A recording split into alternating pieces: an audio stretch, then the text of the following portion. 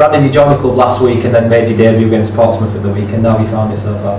Yeah, obviously it's been great. Um, all the lads have been top notch for me since since I come on uh, Friday when I trained, uh, and then straight in on Saturday to make my debut. Uh, a bit nervous at the start, but you know you grow you grow with confidence as the game goes on. And I, I think you know I've done done all right, and I think when it was a narrow defeat on another day, you know would have got some out of the game.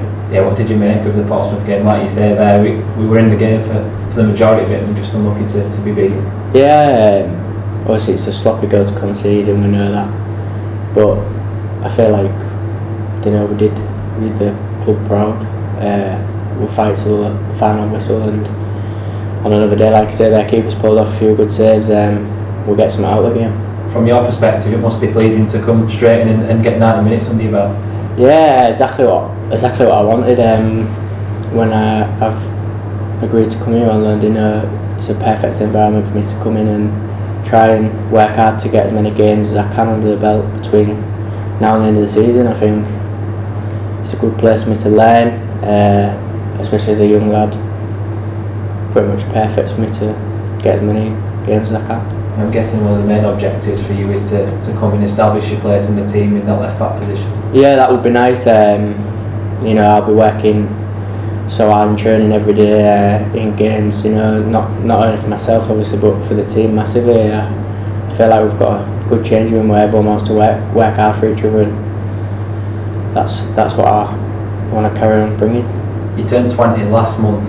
Is it important for you to to be playing regular football at the, the age that you're at now? Yeah, um, obviously I'm still young, still 20, but in football, you know, it's a short career. Uh, it's good to get as many games as young as, as young as possible. You know, a lot of the best players start off when they're 16, 17 and get as many games, and that and that's what Denier excels career. And I think getting games now regularly, week in, week out, would be would be great for me we obviously saw you in action against Portsmouth, but can you tell us a little bit more about the type of player that you are?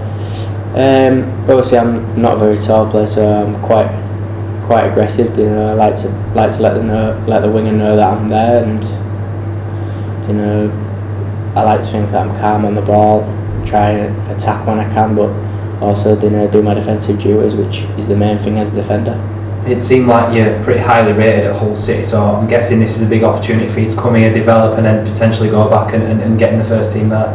Yeah, um, obviously, towards the beginning of this season, I had a, a, little spell in the team at Hull, but you know, it's a it's a tough tough league, it's championship. It's a tough team, you know, to keep in, especially with the quality we've got in the dressing room at Hull. So I think you know to come here and try and try and cement that spot left back, get as many games as I can, and then obviously there's there's a lot for me to learn.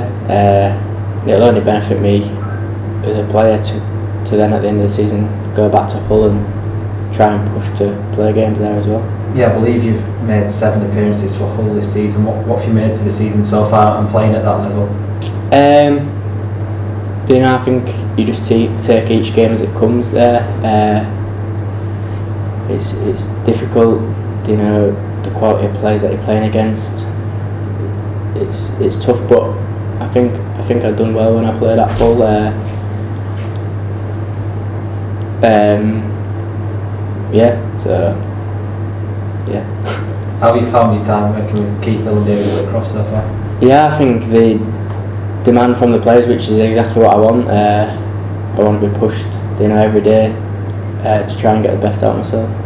And I think that's what they'll, they'll do for me. Presumably you started to get to know your teammates a bit more too. How have they been with you since you joined? Yeah, they've welcomed me and you know, uh, getting to know a few of the lads now. Uh, but yeah, they're all spot on. Uh, made it a lot easier for me. You know, it's sometimes well, it's daunting to go into a change room where you don't know anyone, and yeah, I'm happy with the way that they've welcomed me a bit of a gap now in the in the fixture list before our next game against Bristol Rovers. You must be very much looking forward to, to being involved in that one. Yeah, um, can't come quick enough really. You know, after playing on Saturday, you just want the games to come quick and fast. So yeah, looking forward to the next game.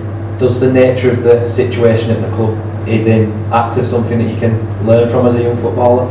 Yeah, um, obviously the club's trying to rebuild, you know, uh, and I think you know it's a great great opportunity for me to come and learn and you know play and get get games and it's just all a learning curve really.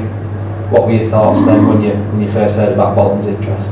Yeah, it was a no-brainer really. Uh, spoke to the, well, the manager at Hull spoke to me and said uh, Bolton are interested. Uh, he rang me when I was at home and he said, you know, it's, it's up to you. And I straight away said, yeah, uh, get me there really as quick as possible. And you know, that was on the Tuesday night, and then on the Thursday I did my medical, and then I went to train Friday. So yeah, I was delighted. Yeah, what did Grant McCann say to you before you came here? Does he kind of encourage you to, to learn as much as you can and, and pick up as much as you can from the surroundings and the Yeah, um, I think he he wanted me to come and you know get get some games under my belt, and so do I. And he just said, just play like like you do and train like you do, and you'll be fine. So you know that's that's the only advice I needed really. Just finally, you must be looking forward to the fight ahead and the remainder of the season and what's in store. Yeah, obviously we'll, we'll fight to the end.